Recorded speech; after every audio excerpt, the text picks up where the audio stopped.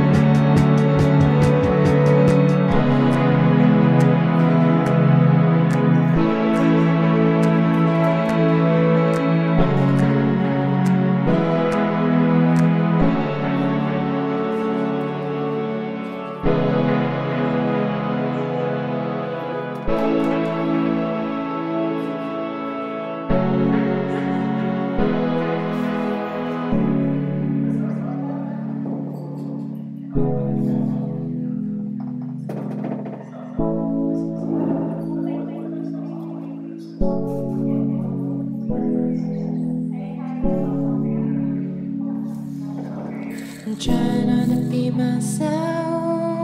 The happiness of someone else still hanging on my shelf.